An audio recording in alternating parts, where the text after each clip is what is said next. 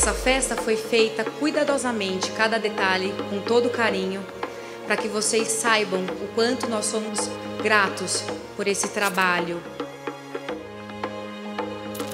Festa normalmente é sinônimo de trabalho, né? Mas essa noite não. Essa noite celebramos vocês. Música